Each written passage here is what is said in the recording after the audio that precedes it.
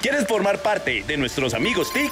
Grábate con tu celular de forma horizontal y cuéntanos lo que pasa en materia TIC donde vives. Estos son algunos de nuestros amigos TIC. One, two, three, four, five. Hola amiguitos TIC. En esta cuarentena estoy viendo videos para aprender inglés.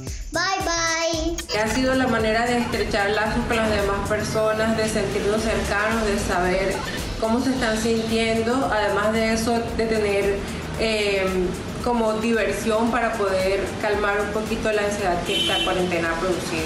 En esta pandemia me ha servido mucho el internet para seguir estudiando, para comunicarme con mis amigos y para, para comunicarme con mi familia, para entretenerme en mis ratos libres.